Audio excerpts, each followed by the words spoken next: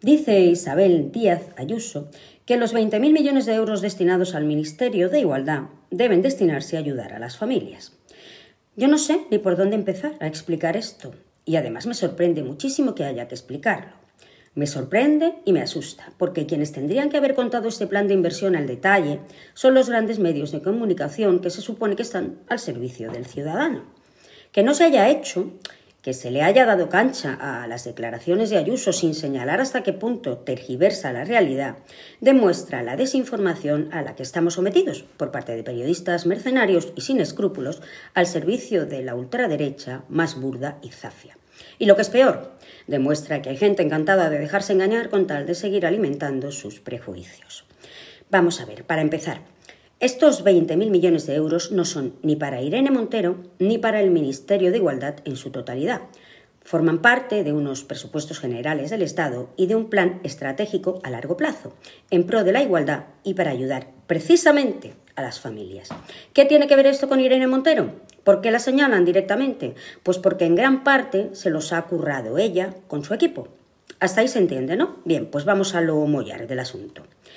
Con esos 20.000 millones se van a financiar los permisos de paternidad y maternidad, las prestaciones por lactancia o por riesgos durante el embarazo, las escuelas infantiles, los planes para la conciliación, ayudas a niños con cáncer u otras enfermedades graves. Se va a invertir en luchar contra las violencias machistas con un plan que incluye detección, protección, atención a la mujer maltratada y reparación del daño en la medida del posible.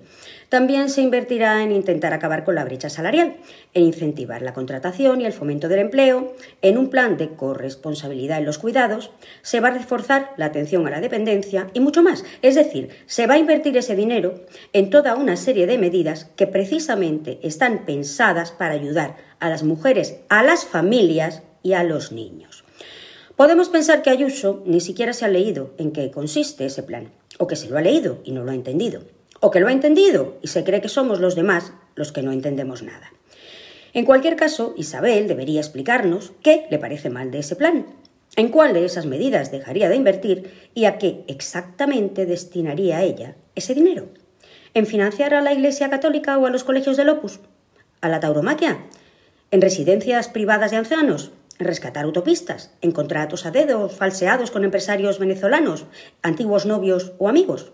en montar otro hospital fantasma con sobrecostes, en el sueldo de Tony Cantó.